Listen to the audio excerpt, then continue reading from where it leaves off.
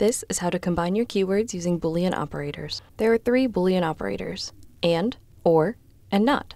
And acts like an addition sign. When you use and, you are telling the database that you want both or more of your terms to show up in your search results. If I search NIL and college athletics, all of my results will contain both NIL and college athletics. Or is used when you have multiple versions of one keyword, like synonyms or different spellings. Or tells the database that you will take any of these terms. So if I search college athletics or student athletes, some of my results will say college athletics, and some will say student athletes. Not acts like a subtraction sign.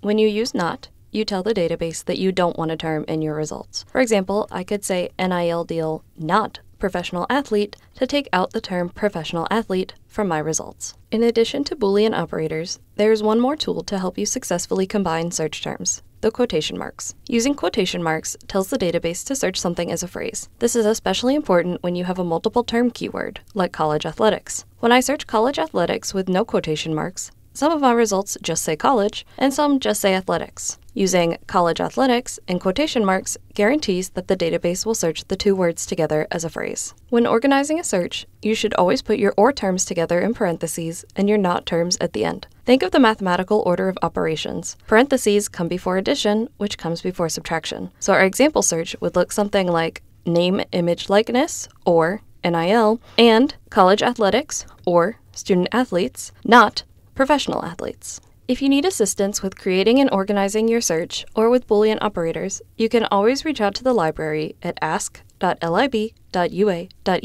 Thanks. See you next time.